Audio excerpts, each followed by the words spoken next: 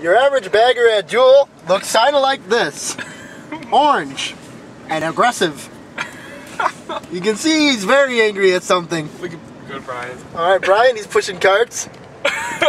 he's real into sports. He likes sports. It got service. Oh, and then there's Nick. Nick sucks at everything. He doesn't wear his vest because he's too cool for it.